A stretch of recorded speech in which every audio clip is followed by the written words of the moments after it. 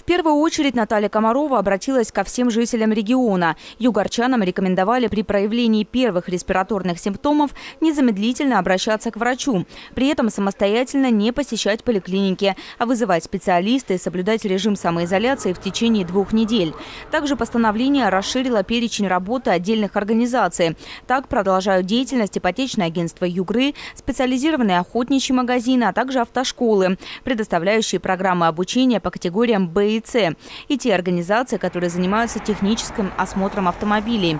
Согласно новому документу, жителям в период действия режима обязательной самоизоляции также разрешено покидать свои дома для получения государственных услуг по предварительной записи.